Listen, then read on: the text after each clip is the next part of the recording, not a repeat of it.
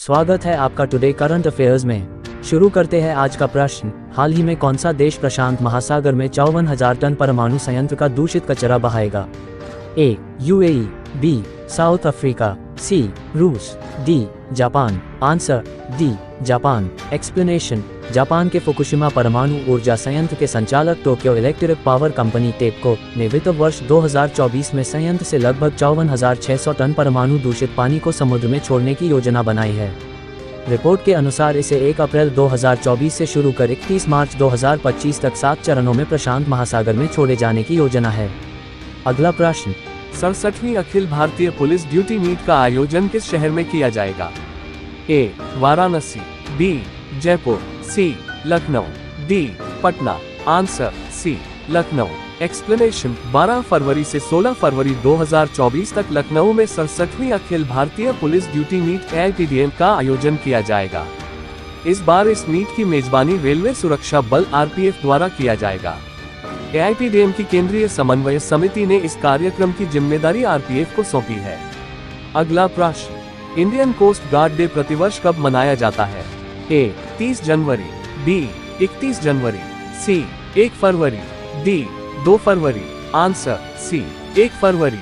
Explanation, Bharat में Indian coast guard day यानी भारतीय तटरक्षक दिवस प्रतिवर्ष 1 फरवरी को मनाया जाता है। इस दिवस के मनाए जाने का उद्देश्य तटरक्षक बल के महत्व के बारे में जागरूकता फैलाना है।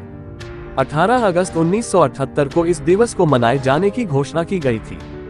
भारतीय तटरक्षक बल की स्थापना 1 फरवरी 1977 को की गई थी। अगला प्रश्न, भारत सरकार ने हाल ही में किस एयरपोर्ट को इंटरनेशनल एयरपोर्ट का दर्जा दिया है? ए, सूरत हवाई अड्डा, बी, जोरहाट हवाई अड्डा, सी, बिरसा मुंडा हवाई अड्डा, डी डिब्रूगढ़ हवाई अड्डा। आंसर, ए, सूरत हवाई अड्डा। एक्सप्लेनेशन हाल ही में भारत सरकार ने गुजरात के सूरत हवाई अड्डे को आधिकारिक तौर पर अंतर्राष्ट्रीय हवाई अड्डे का दर्जा दिया है। पिछले दिसंबर में प्रधानमंत्री नरेंद्र मोदी ने सूरत हवाई अड्डे पर तीन सौ तिरपन करोड़ रुपए की लागत से निर्मित एक नए टर्मिनल का उद्घाटन किया था। अगला प्रश्न, किस राज्य सरकार ने जनजातीय आबादी का समर्थन करने के लिए एल योजना शुरू करने की घोषणा की है?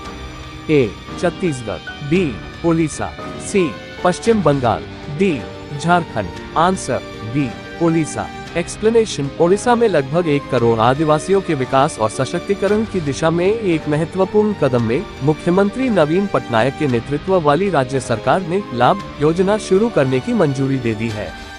L A B H A लघु बान जात्या द्रव्य क्राय का संक्षिप्त रूप है। लघु वन उपज एम एफ़ पी के लिए सौ प्रतिशत राज्य वित्त पोषित न्यूनतम समर्थन मूल्य एम एस पी है।